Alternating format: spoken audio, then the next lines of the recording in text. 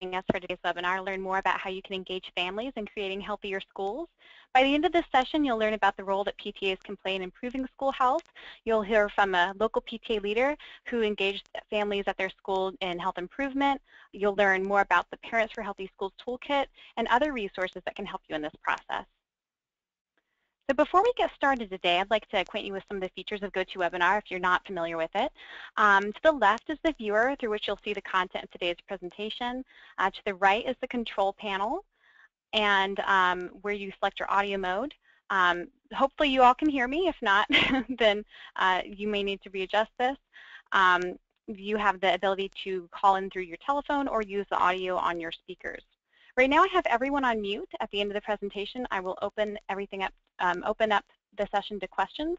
Um, at that time, you can use the hand control or the hand icon over here on the sidebar to raise your hand to ask a question. Um, but we will, since we have everyone on mute, we'll go ahead and use the questions box. So on the little side control panel, um, just type in any questions you have in there, and I will read out your questions to our panelists uh, to answer them. And right there's the questions box.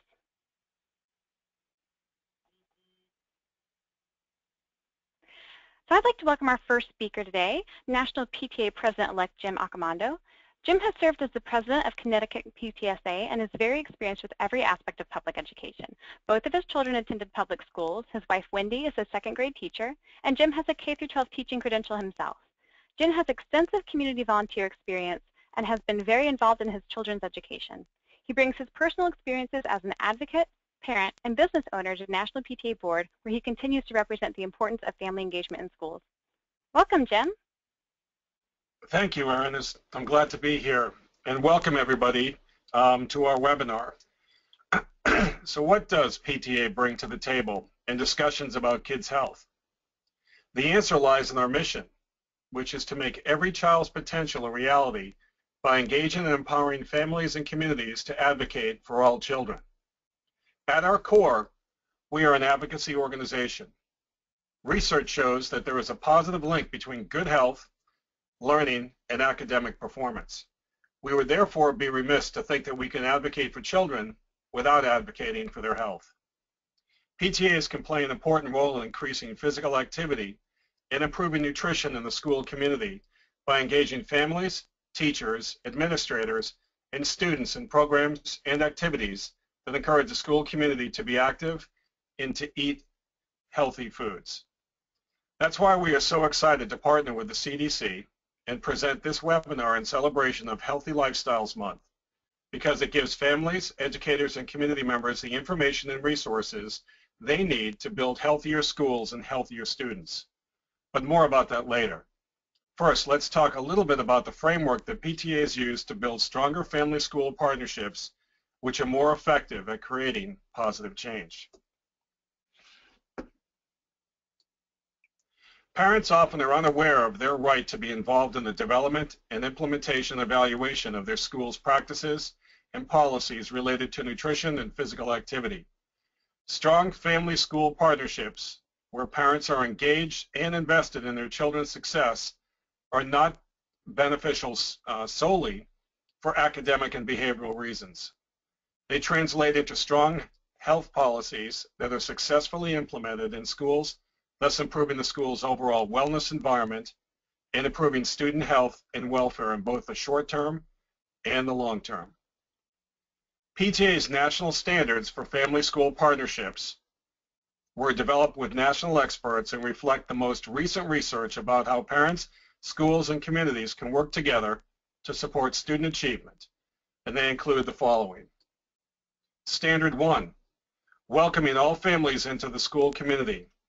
Families are active participants in the life of the school and feel welcomed, valued, and connected to each other, to school staff, and to what students are learning and doing in class. Standard 2. Communicating effectively. Families and school staff engage in regular two-way meaningful communication about student learning. Standard 3. Supporting student success. Families and school staff continuously collaborate to support students' learning and healthy development both at home and at school. and have regular opportunities to strengthen their knowledge and skills to do so effectively. Standard 4. Speaking up for every child. Families are empowered to be advocates for their own and other children to ensure that students are treated fairly and have access to learning opportunities that will support their success. Standard 5. Sharing power. Families and school staff are equal partners in decisions that affect children and families and together inform, influence, and create policies, practices, and programs. Standard 6. Collaborating with community. Families and school staff collaborate with community members to connect students, families, and staff to expanded learning opportunities, community services, and civic participation. National PTA strives to uphold all of these standards in all of our programs so that PTAs can truly advocate for every child. In a moment, Erin will be introducing us to a local PTA leader who utilized these standards in her school and achieved recognition and grant funding as a result. Thank you so much, Jim. I'd like to welcome Amy Hoffmann of Dr. Wynn Murnin PTA, who will speak about her experiences working on engaging families in her school to create positive changes. Amy's PTA received the School of Excellence recognition last year, and they received the Healthy Lifestyles grant this year. Welcome, Amy. Thank you, Erin. Hi, everyone. Like Erin said, my name is Amy Hoffmann, and this is my second year as the PTA president for Murnin Elementary in San Antonio, Texas. I was asked to speak today about how PTA can help increase parental involvement and good health at your school. Next slide, please, Erin. So just to show you where we started from, I had served on the Murnin PTA board for two years prior to becoming president as their VP of Volunteers and Membership, then as secretary. And during those years, the PTA board was made up of mostly staff and only one parent, which was me. PTA membership was less than a quarter of the amount of the students currently enrolled. We had little parental involvement in PTA and on campus. Our PTA did receive a few community donations for our annual silent auction, but had not created any long-lasting partnerships around the community. At the end of 2013-2014 school year, we couldn't find anybody who wanted to be the PTA president for the upcoming school year. I think I said no at least three times before finally accepting the job. I didn't feel quite qualified or knowledgeable enough yet, but I did know that I loved the students and I loved the staff at Murnin, and so that I would do my very best to do a good job for them. Next slide.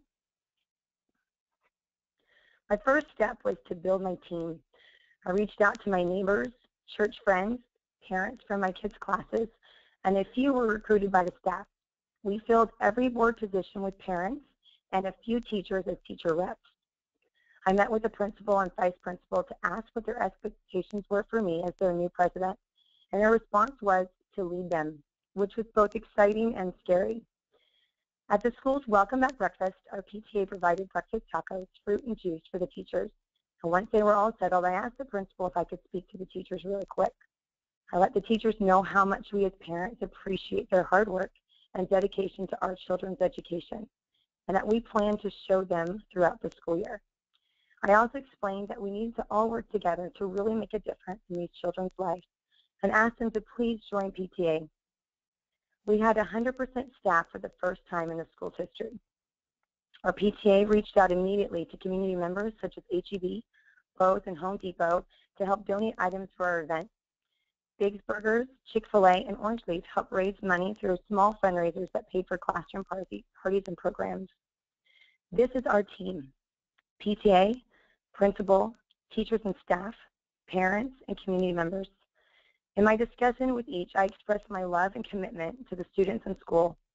I was clear that I had high expectations and standards for all of them as part of my team. I had a vision of making a, position, a positive, long-lasting impact at Murnin, and I needed their help. I felt inspired, and I passed it on to my team through servant leadership. Next slide, please. We accomplished a lot last year, but one of the most was most recognized success was receiving the National PTA School of Excellence Award. I attended my first district PTA meeting where they publicly congratulated three Northside schools on earning this national award, and I knew instantly that I wanted Murnin to earn it too.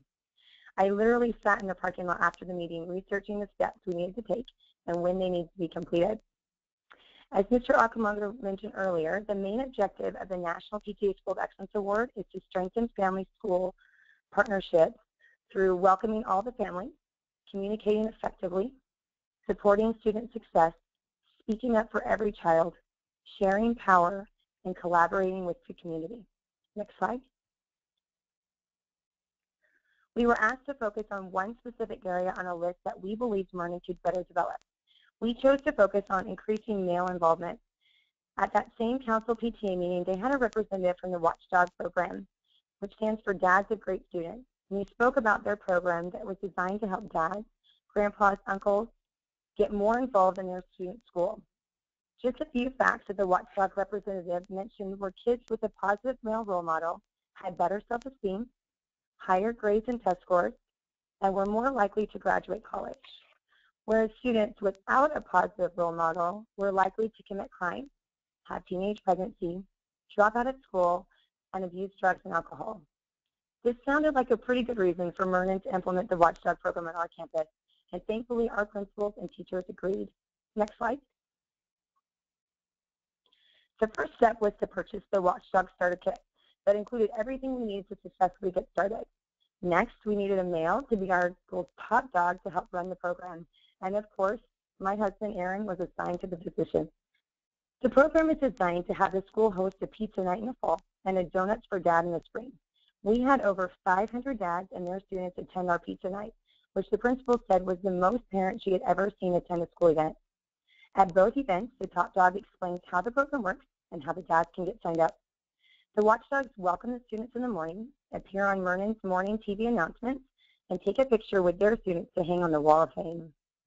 The watchdogs then get their daily schedule that allows them time in their students' classroom, time to attend art, PE, computer, music, library, lunch, recess, and even walk the perimeter of the school and hallways for safety.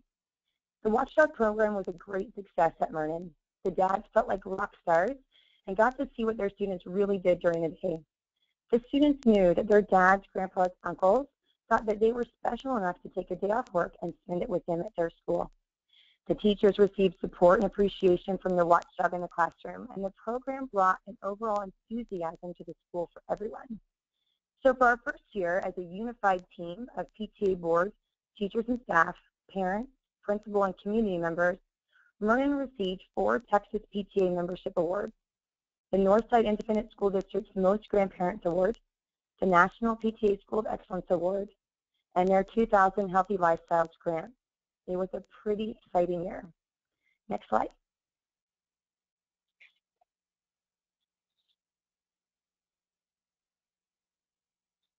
Oh, we'll go one more. There we go. Healthy Lifestyles was our PTA's focus for 2015-2016, so it was a real blessing to receive this grant. Next slide. The Healthy Lifestyles Grant was created to help local PTAs partner with schools and engage families in creating sustainable, healthy lifestyle programs. Together, PTAs, schools, and families can use the program's tools and resources to identify and address challenges to providing healthy learning and home environments. The program focuses on the simple everyday practice known as energy balance, finding the balance between the calories we consume and the calories we burn. Next slide. So putting this uh, program together for our school using the grant, we are having four walk or bike to school days throughout the year with two in the fall and two in the spring.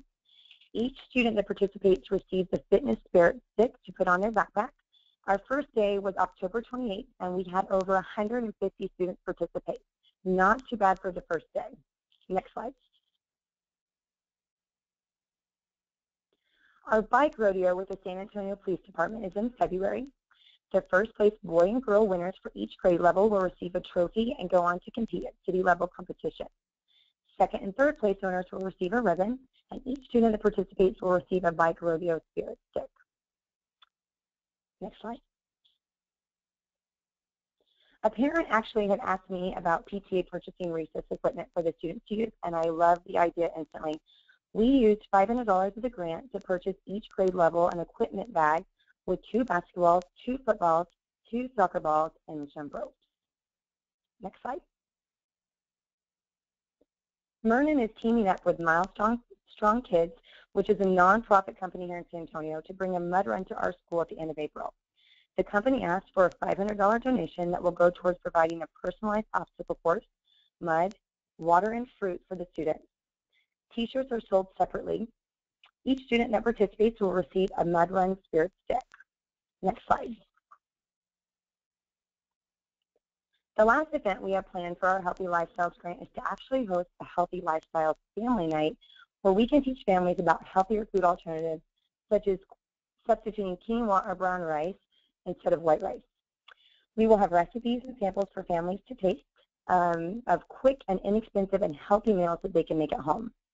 We invited community members from a kickboxing studio, karate academy, yoga studio, Zumba, and basketball team to give brief interactive demonstrations so kids and parents can find a possible physical activity that, that they enjoy.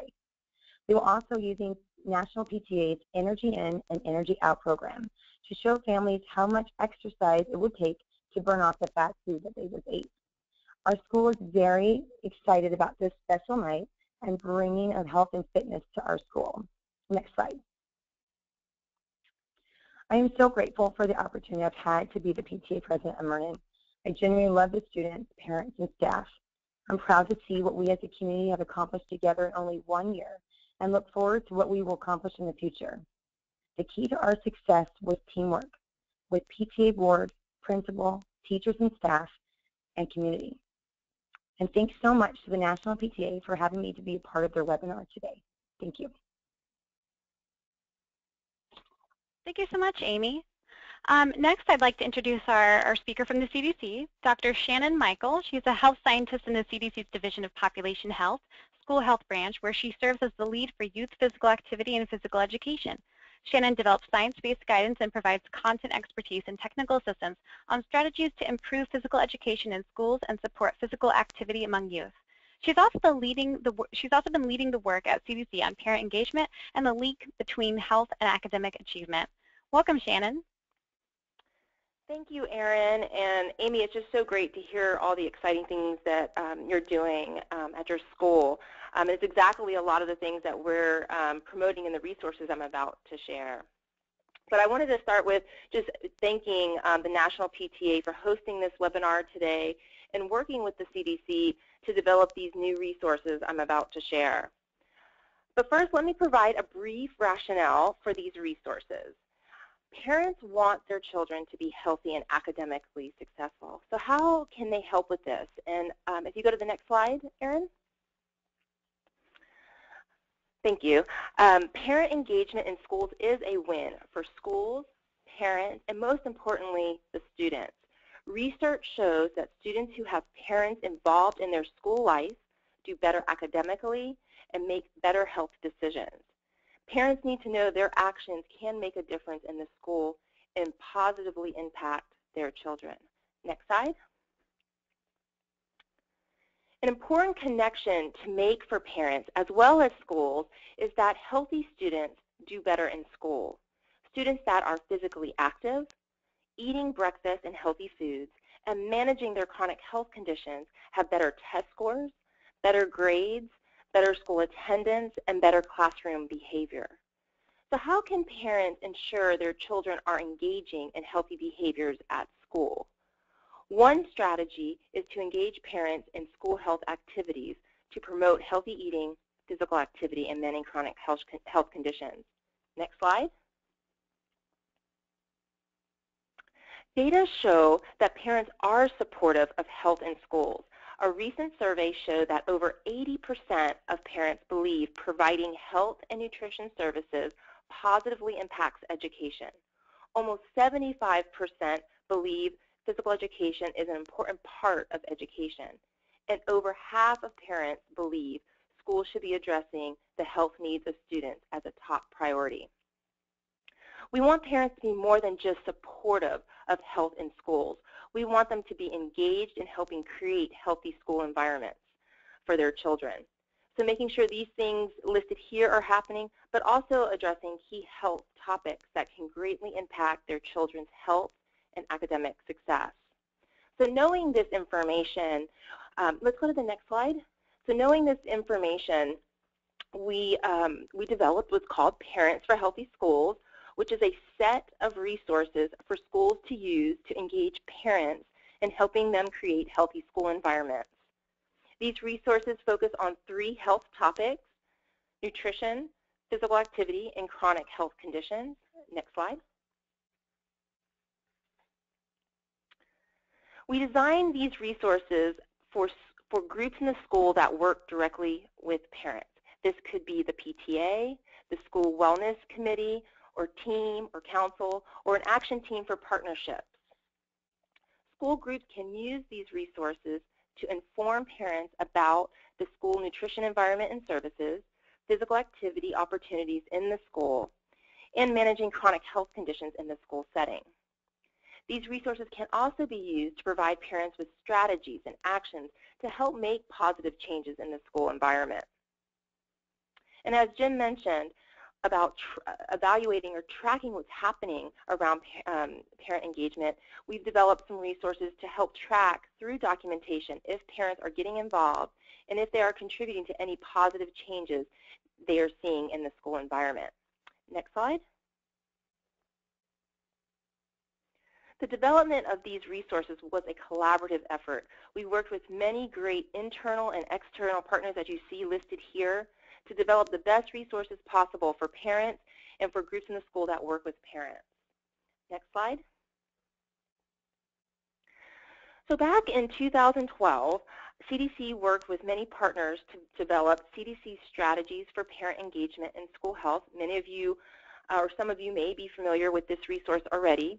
We use this resource as the evidence-based framework for these new resources. We also relied heavily on our CDC school health guidelines to promote healthy eating and physical activity to support the information provided for nutrition, physical activity, and chronic health conditions. In addition, there were several other important reports and research articles that are cited in, in our new resources that support the information included. Next slide. Okay, so now let's get into learning about what these resources really what we have what we have available to you. So as I mentioned, Parents for Healthy Schools is a set of resources. Specifically, there's four resources. First, we have a guide that schools can use for getting parents involved, and it explains how to use all these new resources. So really, the guide is for that for the school or for the group of um, the, the folks in the school working with parents. We also have a PowerPoint presentation to be delivered to parents. Then we have um, these one-page documents called Ideas for Parents that were, that were specifically designed for parents. And in a few minutes, I'll share with you all the different topics under these three categories you see there, nutrition, physical activity, and physical education, and chronic health conditions. I'll tell you all the subtopics that are included that I think you might find very interesting and helpful to your existing programs. And finally, we have a one-page document called Check-in Questions, and that's the document that I mentioned that helps schools consider ways to track parent engagement. So let's take a deeper dive into each one of these resources. Next slide. First, we have um, a guide for getting parents involved from kindergarten through 12th grade. The, the guide was designed to be used by schools or groups in the school that work with parents, like the PTA. The guide provides an overview of a healthy school environment based on the whole school, whole community, whole child model. Um, and if you're not familiar with that model, again, the guide really goes through what, what we're talking what we're talking about there. And what we do is we this model has 10 components, and we're focusing on three of the 10 components. We focused on the school nutrition environment and services. We focused on physical education and physical activity and then health services uh, with a specific focus on managing chronic health conditions in school. The guide also explains the framework for engaging parents in school health. And I'll talk about, actually I'm not getting into much of that, but it's a, the idea, it's threefold. It's one about how do you connect with parents, again, making that, that environment welcoming and trusting. Two, how do you engage parents? And a lot of that work is based on Joyce Epstein's work. And then the third piece is about sustaining uh, that, um, that engagement and how do you deal with some of the challenges. And again, I'll share with you where you can find that information more um, in detail, but it's also covered briefly in um, this guide. Um, and finally, the guide can be used by the school or group in the school that works with parents to think through the process for delivering the PowerPoint presentation and the ideas for parents. And as I mentioned, how to track that, how to track that engagement.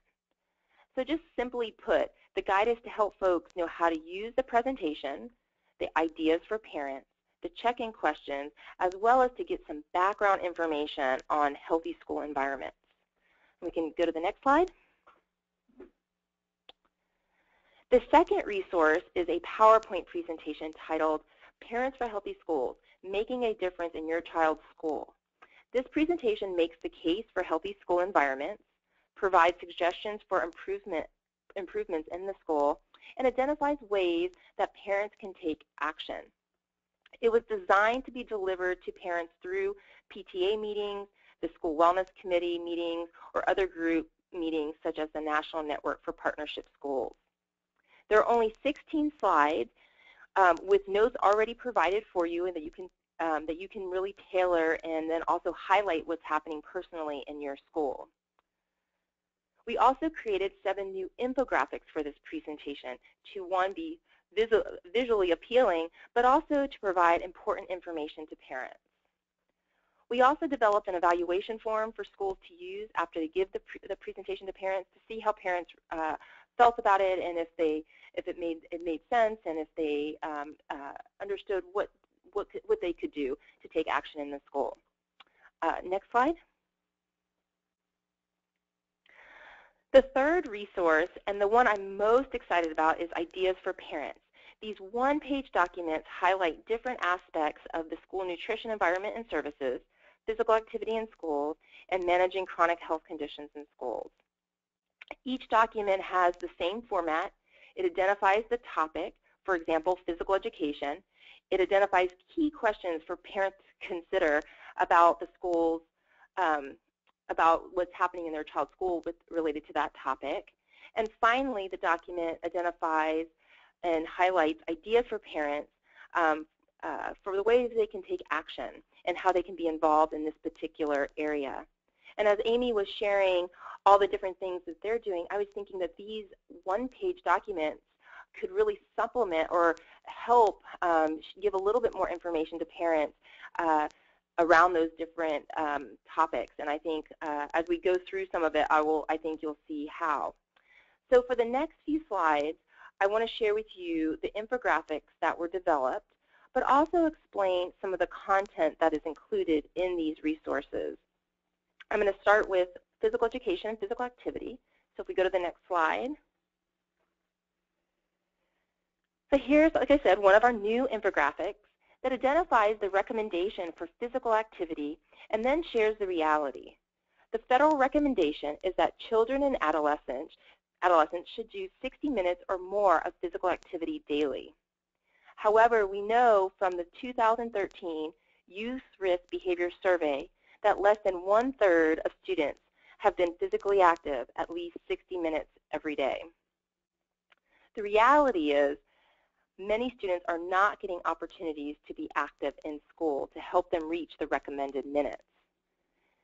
We use data from the 2014 School Health Policies and Practices Study, which we call SHPPS, um, to show nationally that physical activity opportunities, what physical activity opportunities in school are happening and being provided to students.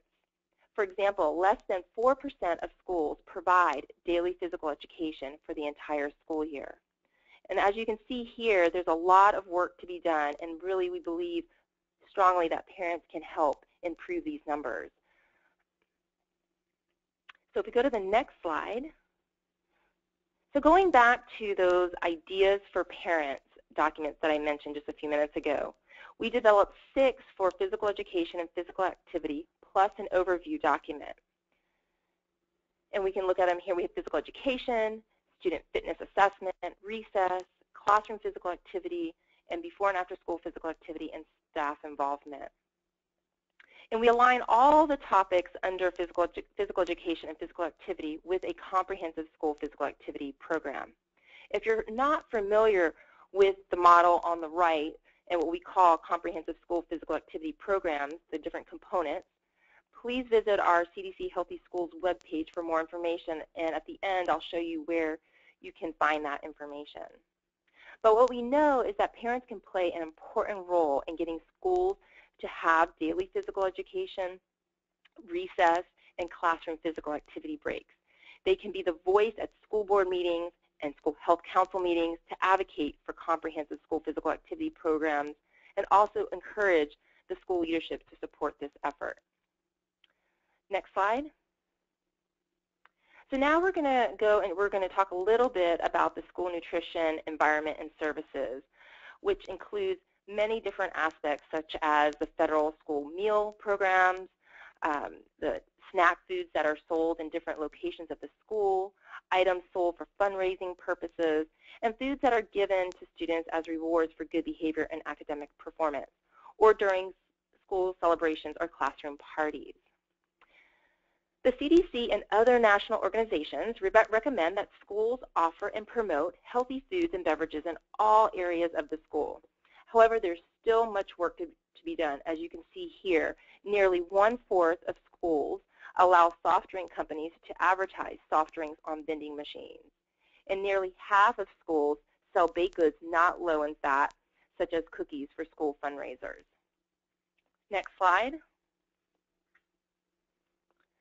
So schools create a healthy so schools can create a healthy school nutrition environment that supports students in making healthy choices.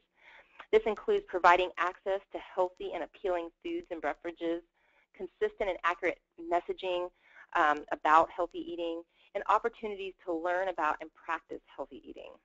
We've created seven ideas for parents um, to address various aspects of the nutrition environment, and you can see here, school meals, Smart Snacks in school. So if you're not familiar with Smart Snacks, you can get some of that information from that one-page document, and then it also shares with you some where you can get some additional information about the rules, and then healthy fundraisers, healthy student rewards, events and celebrations during the school day, drinking water availability, and then food marketing in school. And now we're going to go ahead and if we go to the next slide, so this is our last topic addressed, addressed by all of these resources, and it's chronic health conditions. And what we know is during the past few decades, chronic health conditions and mental health problems have increased among children. As a consequence, demand for health services has risen dramatically. The National um, Association of School Nurses state that every school-age child deserves a registered nurse and every school should have a full-time school nurse all day, every day. However, many schools across the United States do not meet, do not meet this recommendation. According to SHPPS 2014, only about 50% of the nation's public schools have a full-time registered nurse, and, other, and others may have one who works part-time, often dividing his or her hours between several school buildings. And sadly, approximately 20% of schools have no nurse at all. One recent study showed that for every dollar invested in school health services delivered by full-time registered nurses, society gains $2.20 in savings from medical care costs and loss of productivity associated with caring for children with chronic health conditions. And let's go to the next slide. So we also provide ideas for parents to help address health many different topics, health services, supporting healthy weight, asthma, food allergies, diabetes, seizure disorders, and oral health. And this infographic or graphic on the right shows all the different areas that should be um, addressed in the school. And like I mentioned, this, this um, uh, infographic is also in, that, uh, in the PowerPoint slides that are provided to you with notes and describes this in more detail. Um, and I think, again, if you have an opportunity to look at that, I'd really encourage you to. Um, so if we go to the next slide, I'm going to uh, leave the different topics. I just wanted to give you all a sense and feel for what type of information um, are we talking about and topics that we're talking about in these resources. So I wanted to, to kind of move us to, so what are some key actions for parents? And I mentioned some specific examples for how parents can be can help promote physical education and physical activity, a healthy school nutrition environment, and managing chronic health conditions. And, and, and again, if you go to those one-page documents, it gives you a ton of ideas. But what, I, what we found is across all of those three topics, there are four key actions that are, are pretty consistent across all of them and help promote a healthy um, school environment. So the first is for parents, so parents can bring their voice and expertise to help with school health activities in their child's school. This can be done by attending classes on health topics supported by the school, communicating with the school about health issues, volunteering to support health activities, making decisions related to school health policies and practices, and reinforcing health messages taught um, in school at home. Another thing that parents can do is help, help implement the local school wellness policies as well as other school board policies that focus on these different health topics. They can also ask the school to provide education, educational opportunities to learn about the connection between health and academic achievement, the importance of healthy eating and physical activity, and ways to support their child with a chronic health condition. And finally, they can join a group such as the PTA that supports and can address a healthy school environment. And as Amy mentioned, it's about building the team. It's getting, it's being able to convey why they should be involved in, in these um, in these activities. And what, what we say is the reason why is because their kids are going to be healthier, and when they're healthier, they're going to be ready to learn. Um, so if we go to the next slide. The other one last thing I wanted to point about in terms of the resources that I've mentioned a couple times were the check-in questions. Um, the check-in questions provide some examples of change that you can see or hear of from school staff or school group or school group members after sharing the PowerPoint slides and the um, parent idea sheets. The idea is that you would review your activities and choose or develop check-in questions that best align with the types of activities that you use. And again, there's, a, there's a, several questions in this one-page document that you can select from. Um, and what I wanted, if we can go to the next slide. I wanted just to um, let you know about some key activities to know about and to share. So all of these resources that I just shared, these four resources, and we call this whole set of resources is what we call Parents for Healthy Schools. It was released last Wednesday, November the 4th. Um, today, this afternoon, we are going to have a CDC web feature come out. That means that on our CDC main web uh, web page, um, it'll be an article that talks about the importance of engaging parents in school health and what they can do. Another important event that I wanted to share with you is that on Thursday, November 19th at 2 p.m., we are having a Twitter chat um, about Parents for Healthy Schools, and we hope if you are active on social media for you to participate in that event. And then the other exciting thing that we're doing is um, we're developing a CDC e-learning course for Parents for Healthy Schools that will be tied to um, continuing education units, um, and that will be released probably late spring of 2016. And if we go to the next slide. Now what I wanted to do is actually show you the website and show you how you can access all of these different um, resources. So Erin, if you could uh, share with us the, the web page, great.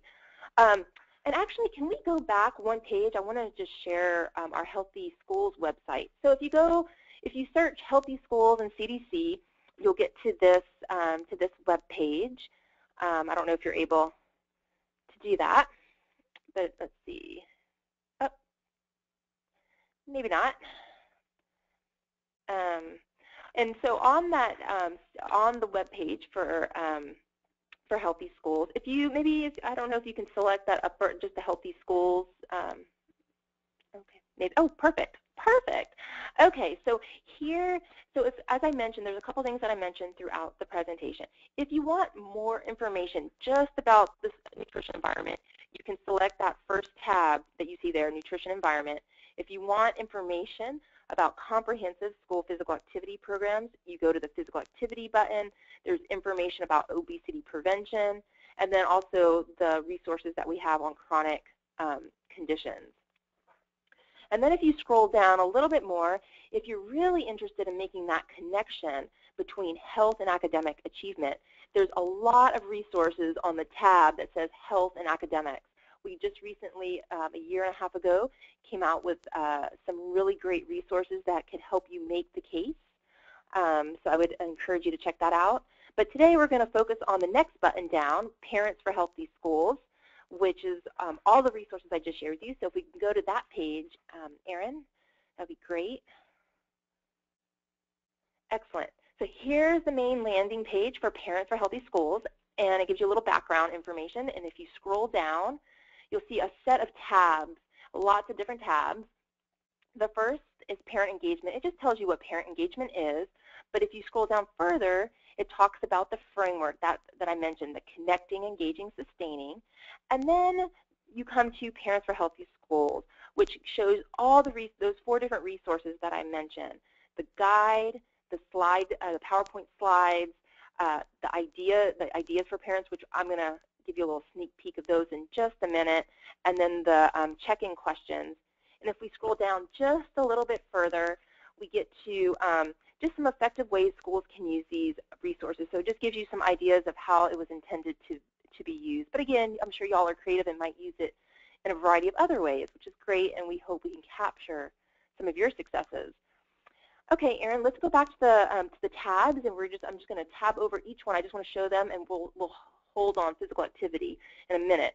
So we have nutrition. If we can tab to nutrition, and you'll see here we give a little blurb about nutrition we talk about the different um, ideas for parents, and I told you there was several of them, and they have their, there's an individual sheet for each one. And then here are the um, infographics. So, and we have it in three different formats. We have it in the P, a PDF, JPEG, and PNG. So please use it however you like in your PowerPoint presentations um, to folks or in other print materials.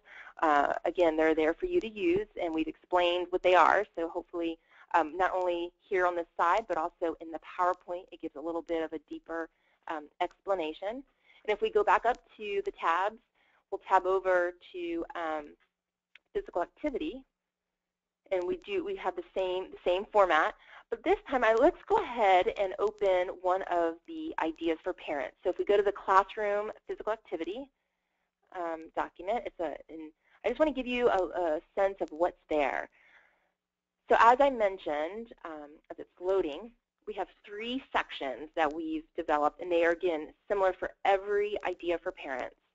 Um, it's populating.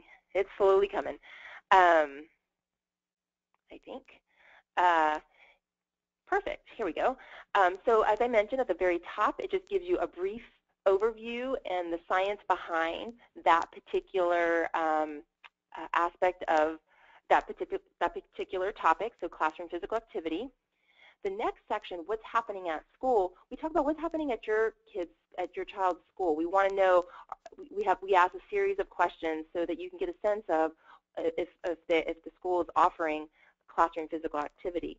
And then the last section, which is on the second page, gives parents ideas for how they can support and be involved in providing um, uh, classroom physical activity breaks. Um, so that gives you just a quick snapshot of how these, how we formatted the ideas for parents. And if we go back to the web page, Erin, um, we do that also for chronic health conditions. So if we just hit that tab, I'll just show them that. That's great. And then we're going to go one other. We have two other tabs. The promotion kit. So if you're if you're super savvy with promoting items or in social media, we have just the thing for you. So if we click the promotion um, kit tab and go ahead and open that PDF, Parents for Healthy Schools promotion kit, there's several things in here for you. The first page just goes over what resources, those four resources that I've mentioned, but also what's included in this kit, the items included in this kit, which you can see right there. There's several things, and I'm going to go quickly over these. So the first one is using the Parents for Healthy Schools resources. So again, how to use it. The second thing is sample social media posts, and we have um, information for Twitter. You can scroll down, Erin. We can go Twitter, and then we have Facebook posts. So again, pulling this and sharing it as much as you all can would be great. We'd really appreciate it. And then we also have our own Pinterest um, page and um, um, CDC's Healthy Schools Pinterest board, actually, and has all of those infographics, and we hope you can pin some of those. And then again here, just list all the infographics for you. If we can keep on scrolling past these infographics, that would be great. Um, and then what I wanted to point out is just a couple other things that are available in this uh, promotion kit. There's the web badge. Uh, and it tells you how to how to use this with all the embed code, and that's just for the resources. And if we scroll down, if you want to promote the Twitter chat, we also provide um, information for the, the badge for the Twitter chat, and also uh, content syndication information as well. Um, and we can scroll down a little bit more. We have a rollout calendar of all the events I mentioned, so you can keep keep um, keep track of that. And then also have identified um, health observances to promote um, Parents for Healthy Schools. So if you want to focus in on a particular month and highlight a particular topic, um, that's our plan. So just wanted to highlight that for you all. And then at the very end, we have just a couple more things. Again, other ideas to promote Parents for Healthy Schools, and then template text. So if you are a blogger or you have a newsletter, you can use you can um, pull some of this information to promote um, Parents for Healthy Schools. And then uh, if we go back to the web page, the last thing I wanted to mention, um, the last thing I wanted to mention was the strategy document, which is the very last tab.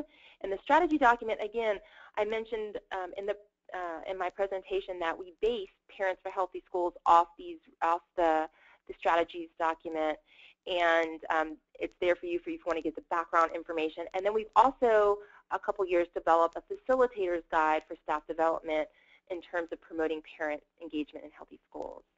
And we also have some even, even brief uh, fact sheets for different audiences at the end. It's an overview brochure, but also uh, some things that uh, school districts and administrators can focus on, teachers and other school staff, and then parents and families. So that's that's it from me, Erin. Thank you all. Again, thank you for letting me be part of this um, webinar. I really appreciate it and look forward to questions. Of course. Thank you so much for joining us, Shannon. Um, and at this time, I'm going to go back to our, our PowerPoint, and I'll be taking uh, questions as soon as I pull that up. Um, so at this point in time, if you have any questions that you would like to, um, you know, ask any of our, our panelists, uh, feel free to type them into the questions box. I know we have a lot of attendees today, but I'll try to get through as many as possible um, and try and, and, delve into this a little bit further.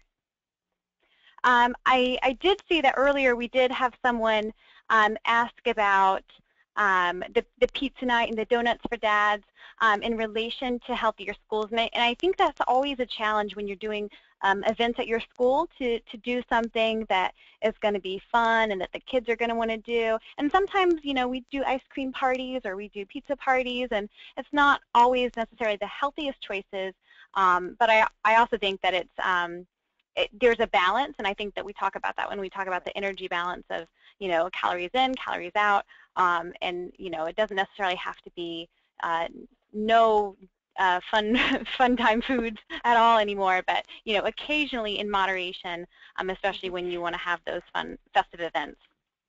Yep, and this is Shannon. We actually, mm -hmm. in one of our handouts um, on uh, school celebrations and you know events, uh, we talk about um, different ideas um, that uh, uh, uh, you know that people can think about in terms of if they don't want to do like a donuts for dads, which again, you know, if we were trying to really promote healthy opportunities, how can, you know, what are some other, what are some alternative ideas, and we provide some of that. Yeah, great. Thank you so much, Shannon. Um, mm -hmm. I, I, did get a bunch of other questions um, that were all the, the, same about the resources, so I'll go ahead and touch on that. Um, a lot of people are asking if the Parents for Healthy School resources are available in other languages, like Spanish. That is a really great question, and I'm so glad that that that's being brought up. So we are um, planning on translating these resources into Spanish, and we're working on that. And if and if we're able, we're just making sure we have the resources to do that, and we're getting at the moment we're getting uh, estimates on that, and we if we're able to do it, it'll it'll come out next spring. Great, thank you. Um, someone else just typed in fruit for fathers, I guess as an alternative for, for dad. So thank you for, for that suggestion. Um, mm -hmm. uh, several people have asked if they would be able to get a downloadable copy or a printable version of our PowerPoint presentation today. Um, uh, Shannon, I, I don't know if, if this version is, is shareable. I know that there is the Parents for Healthy Schools PowerPoint that they can download on the site. Is that the same? They, um, it, it's actually the PowerPoint presentation is, uh, is very different because the PowerPoint presentation on the website is for parents. So it's it's a it's a definitely a different style presentation. Mm -hmm. I am very happy to be able to um, share these slides with anybody uh, that just emails you. I mean that that requests that. I don't think we'll do a big email out, but whoever wants them, they can have them. Okay, great. So. Mm -hmm. Um, and so, you know, we, we can send those out to all um, people who registered who are interested in getting the copies. Additionally, there are the versions that are for parents um, that are available on the website. Um, someone else mentioned, is there a way to have copies mailed to them? Unfortunately, I know for at least a national PTA's um, part, we, we don't have the, the capacity to print and mail copies, um, but we will definitely share all the digital versions that we can get out to everyone. Um, someone else asked, what was the name of the study of physical activity? And they were asking if it was STIPS? Um, I've, what's, uh, what particular what particular study? Um, I, I, didn't. I, are they talking about the what what uh, were they interested in um, the, where the national guidance comes from for the 60 minutes? Is that the? I I think so. Um, if if the national they could yeah, elaborate, so that'd be great.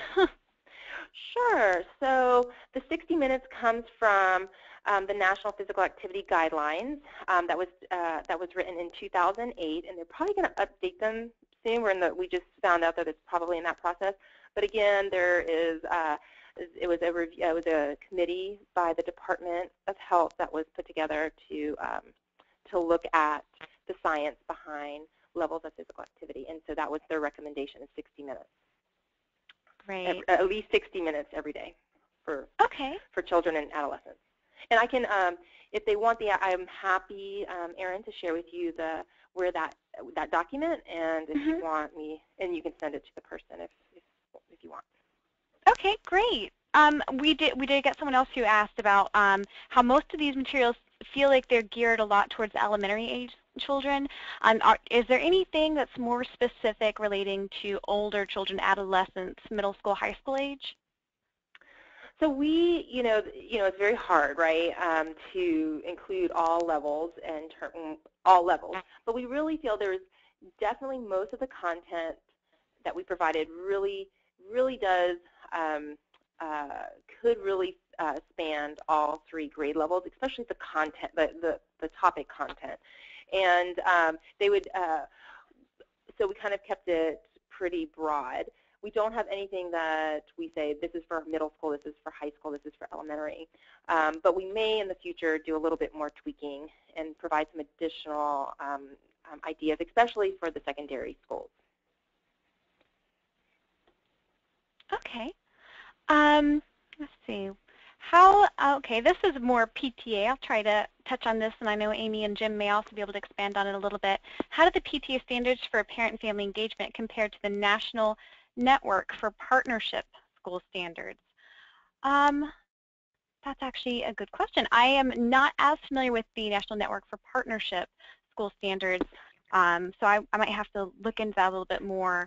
Um, this is um, um, Shannon. I'm, this that's mm -hmm. uh, a lot of Joyce Epstein's work. I'm there. I okay. Work, actually, and actually, the work that we've done has been hand in hand with Joyce Epstein. And you know, the thing is, is I mean, she has. I'm assuming they're talking about the um, six uh, types of engage, six types of involvement. Um, and again, our resources.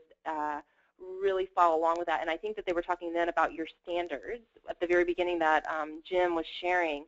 Mhm. and I feel that I think that they're somewhat overlapping. They fit again. It's just it's a different perspective, I think, um, in terms of standards and types of involvement. But I, um, but what I think is that they really do complement each other, and we just need to think about um, what that means in terms of the school building. So I don't know if that helps. Yeah, yeah, I think that's a, a good answer. Um, any suggestions for collaborating with a local public hospital, um, who, hospitals who have community service missions? So is that, uh, that I mean, I think, I, think, well, I, I think community partnershiping is such a smart idea, right? Mhm. Um, um, it real, I don't know, um, can you repeat the question one more time for me? Just Yeah, I- yeah. Um, suggestions for collaborating with local public hospitals who have a community service mission. Hmm. Um, I think Let me for, think a for little- PTA, um, we we had done a 5K last year, and we had booths set up for people to monitor um, blood pressure and things like that. So that could be something they could possibly provide for the school at events, is to do um, some type of healthcare information for for your school. Yeah, and that's actually a really good idea, Amy. And then I was thinking, you know, we talk about the, I mean, there's lots of ways that the community can come into the school and teach about uh, different aspects of health, but also at parent at, at those parent events. So that I, that even might be like a hook to get parents involved is to be providing some of those health services that they might not have access to, and that could be a service that they provide. hmm Yeah, I think that's a great point. Um, someone else asked about um, their school had to cut out all food incentives this year, and they would love to know some other alternative non-food incentives for the activities. Oh, that's great. Um, so again, our um, our one-page documents provide some of that. So if they go to if they go to the nutrition tab, they'll find different ideas there. But also our our other partner that we develop these resources with, Action for Healthy Kids, they also um, and it's also linked in our if they go to the resource section in our guide, they provide a lot of information for schools and parents and provide a lot of alter there's one document in particular that provides a lot of alternatives to um, uh, food incentives. So if they, uh, I don't know, uh, Erin, I can send you that document as well that you can include in the email back out. I don't know if that would be helpful. Yeah, yeah, I could include that um, on in an email to all registered attendees as well. Great. I'll Um, give you the federal document and then I'll give you that Action for Healthy Kids document. Great. doc- and then Yeah, that'd be great. Um, someone else was asking um, about the, these materials in relation to working with low-income families, low-income students, especially in more urban school districts. Are there any special considerations for those those um, populations? We did not in these particular documents. A really good question. Um, we are doing a little bit more work around, uh, especially with physical edu- physical activity and physical education around urban um, and urban settings. And, but what we found, you know, it's more. Uh, some of the things that we're encouraging parents to do would be appropriate across, you know, multiple settings. But again, we do. We may go back and do another little uh, when I say little, another another review and figure out if, if there's some other specific messages that we should be sharing around urban in urban and rural districts, school districts. But we don't have that available now. hmm Um, and, and of course, I mean, this is just um, the sidebar from PTA perspective and, and some of my work with AmeriCorps and working with um, the Urban Family Engagement Network. Um, when you're working with those populations, just always, you know, work with the community to find out what, um, you know, what their needs are because each community usually faces unique challenges and um, you know that way you can kind of help to supply the resources that they are in the most need of um, whether it is having the area to do physical activity or having the access to um, the Mhm. healthier food options and, and introducing those options to them. And that's Um, actually a really good point. mhm. I was just going to even piggyback off that. That's a really Yeah. good point in terms of when we talk about connecting with parents. Again, if we really want parents engaged in the school, we also need to know what their need what their needs are and what Mhm. might get them there too. So. Yes, exactly. hmm Um, and, and someone else, I think, um, just brought up again accessing um, this presentation for anyone who couldn't attend today. Um, again, we'll, we're going to record this and we will publish this out. We'll send it out to everyone who registered.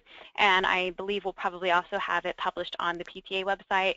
And I will also share it with um, Shannon and our other panelists so that they can share it through their networks as well. Um, so that recording should be available to everyone.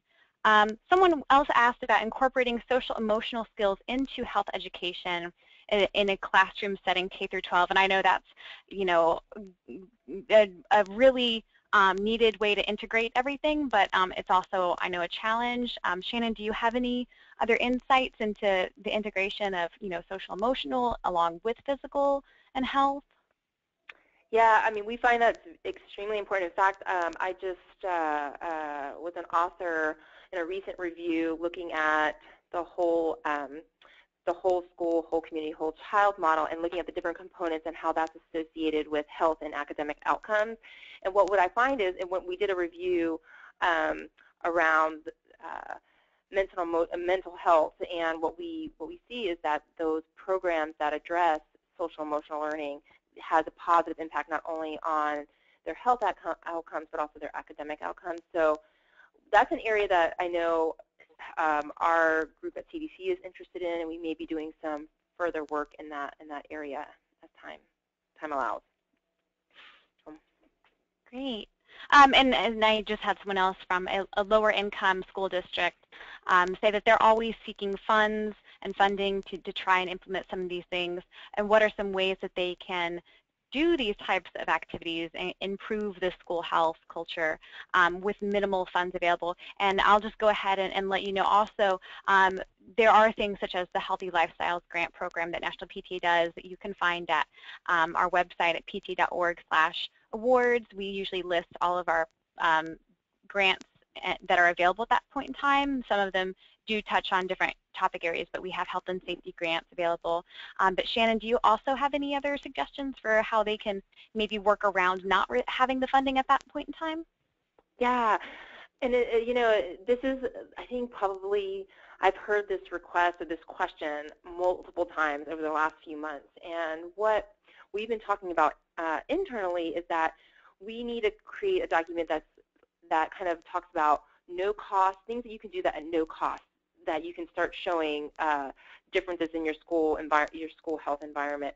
What are some low-cost items, and then of course, what are some things that might cost a little bit more? You need a grant to do, and so we internally are talking about developing a resource like that based on all the based on the research, and again, based on the research that we know, and um, hopefully we'll be able to provide something in 2016 that highlights those things. Great. And, and someone else just, I think, pointed out, um, is there a list um, for school-based grants or helping healthy um, health activities by state and city? Um, off the top of my head, I'm thinking of the, the grants um, listing. I think that there is an aggregator out there uh, of, of a listing of all the different, um, at least maybe federal grants. I'm not sure if maybe yeah. I'm in the wrong track. yeah, no, this is Shannon too. No, I know this is something else I also get is that they're like it needs we we need we need to know all these programs uh, you know in one spot and we also need them to be somewhat an easy process to develop. I don't want to spend you know 40 hours to develop something to write a grant that I'm only getting you know 500 or $1,000. So again, uh, I don't I don't know of anything that kind of has it all in one spot, um, and that's uh, um, but I do know um, that we, I know at CDC we try to highlight some of those on our on our on our pages. Um, but that's maybe something else I can also bring back to talk about how we can maybe do a better job at highlighting some of those those grant opportunities. Yes, yes, absolutely. And, and someone else earlier had asked um, about the intersection um, with with this and, and Fuel Up to Play 60. I know PTA has previously collaborated a little bit with the Fuel Up to Play 60 program, um, but they were mentioning also additionally that um, Fuel Up to Play 60 does offer $4,000 grants um, to, to schools every year. So that's another program where there is some grant funding available, um, and yep. you know, there's I feel like there's a lot out there Yeah, and the, the other one that I should promote is is the Pre Presidential Youth Fitness Program. Uh, we collaborate with them often, and they have they do grant programs as well, and it's it's, about fitness education, and it's a, that's an, an, important part in physical education that should be addressed. Mm -hmm. um, I know as far as the uh, the calories in, calories out, um, healthy lifestyles uh, grant program, someone else was asking if the calories in, calories out addresses caloric needs of, of student athletes. Um, and I, I believe that, I'm not sure that it, it really expands deeply on specifically student athletes, um, but just the overall principle of, you know, what you're expending out, um, you need to re-energize and put more in or, or you know, what you're taking in needs to, to be balanced out with how much you exert back out. Um, so I, I, believe that it, it's in a way it's touching on that because uh, you know the student athletes are um, exerting more energy out and so that needs to be taken into consideration with the, the calories going in um, but if anyone else has anything else to add about uh, you know student athletes in particular with the energy in energy out uh, feel free to to add on Mm -mm. Okay. you, um, you did a great job. okay. All right. I, have got so many, so many different um, uh, inquiries from from our, our great audience. Um, and and some some other people are asking if they need to sign up to receive the copy of the recording. You don't need to. Um, as long as you signed up and registered, I will be able to email it out to you guys. So you don't need to worry about trying to sign up or, or shoot me your email. Um, you should be on the registrant list, and so I can just send that back out. Um, let's see. Uh, someone else pointed out that they work with a hospital wellness center and that they have incorporated a youth program as a segue to enter the schools and advocate for changes in school health policy. And they call it the coordinated, yeah, coordinated approach to child health is what they're calling it. Um, but I, you know, there's a, I think another great idea as far as the partnering with the, the community organizations and community partners um, and working with the hospitals in the area. And our, our resources really didn't focus necessarily on, on that, but again, that's where parents also work. That's another way to, parents work at all these different places. And again, parents, if we can figure out what they have, they can offer something very unique to a, to a school. So again, seeing what parents can can offer is, or asking what their maybe what a unique contribution might be from that from a parent is important to to check out. Yes, or to yes, ask. exactly. Yeah. And and someone else um, asked, you know, is there a good way to manage vending machines at the schools when the distributors seem to have the control over what they're putting in the machines? Um, has anyone found a very good policy dealing with these vending machines that seems to work, or is, is there a good strategy to approach that? Actually, that's a great question for uh, our. Um, we have a, a lead for uh, for nutrition um, in our in our branch, Caitlin Merlo she would be a really good person to follow up on that. If you can send me that question, I'd be happy to get it answered um, by by a, by somebody that really focuses on vending machines. She's actually okay. doing a national study on that. Yeah, I'll I'll try and send that over to you. Um, someone else in this I think is is more of a, uh, uh, a a point of interest, but they were saying, let me find it about the they were giving out the fruits. They did a, fr a fruitarian week in spring last year. They worked with the campus to have certain fruit choices available on specific days. They gave the kids a chance to participate whether they brought lunch or bought one, and they had the highest participation ever. They had a, a huge em emphasis on, um, oh, I'm sorry, that was the running in the next one. Um, oh, they have a huge um, refugee population at that school, so there was a suggestion for healthy foods instead of sugary snacks. I think that's all part of the same statement. Wow. Um, oh, I would love to hear some of these. If, if folks are posting some successes, that's mm -hmm. something that we're very interested in. So I don't know, um, Erin, if you're able to share that with me. Um, yeah, I'll try to. I'm getting I'm getting lots of, of great um, tips and, and you know success stories in here, so I'll try and, and collect all of those. Um, someone else did point out um, they were interested why um, it didn't seem like drug abuse or mental health um, topics were part of this initiative as much. Um, is there? I know there are resources out there available, but um, do you want to expand on that a little bit? Was that question for? I'm sorry, I didn't. Uh, Yeah, yeah. Um, they they were basically asking why uh, drug abuse, mental health um, were separated out from from this toolkit as much. I, I know that there are a lot of uh, federal resources around, you know, like SAMHSA has a lot of the mental health, substance abuse stuff. Um, but I think they were just kind of curious why that wasn't included in this toolkit. Right. So um, that's a really good question. Th those are absolutely very important.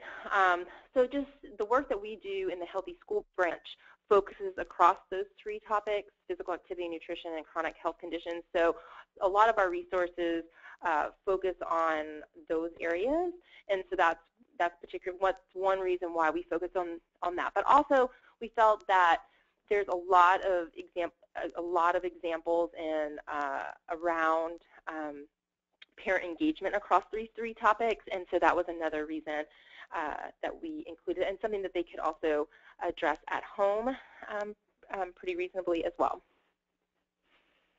Yes, and and this kind of goes back, but I saw just saw where someone entered in regarding like the vending machines, um, smart snacks, um, which I know is I am not as well versed on the details of of that um, uh, information for the smart snacks policy, but um, they're saying there is some information through that as well as through the state education department um, and that there, that might be an avenue to explore in order to address the, the vending stock um, Mm-hmm. issue. Mhm. Great. Um, let's see, I think I've tried to make sure I caught as many of the questions as possible. Um, I think that might be it. Make sure I didn't miss anything. All right, well, I think we'll go ahead and wrap it up. I'm going to try and get um, the recording out as soon as possible, hopefully by tomorrow to all the registrants. Um, we'll have the, the recording um, up on our website within the next couple of days, and I'll also be able to share it through everyone who is a panelist today. Um, and we'll try to get those additional files out to everyone and, and make sure that we have tracked all the input and questions from everyone who attended today. today. So thank you, Amy. Thank you, Jim. Thank you so much, Shannon. Um, if anyone has any other questions, let me pull up our last page. Um, you can reach us at programs at pta.org. On pta.org, our health and safety section, we have more information about Healthy Lifestyles Grant as well as our other health and safety programs. Um, so thank you all so much. Yeah, Great. thank you. Thank you. Thank Bye-bye. All right. Bye.